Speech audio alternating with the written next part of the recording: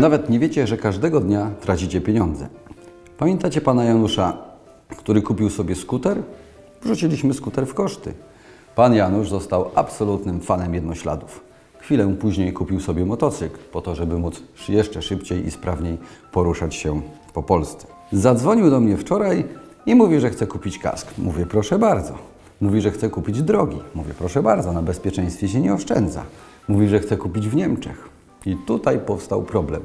Czy można odliczyć VAT od kasku zakupionego w Niemczech?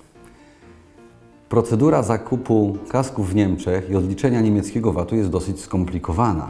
Ale jeżeli zarejestrujemy pana Janusza do VAT-u UE, procedura jest prosta. Kupujemy netto bez VAT-u i od razu oszczędzamy kilkaset złotych.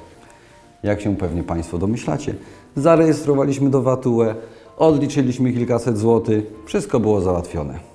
Czy warto to robić dla kilkuset złotych? Być może nie, ale teraz pan Janusz może wszystkie zakupy w Unii kupować bez VAT-u na swoją firmę. Tak się oszczędza pieniądze.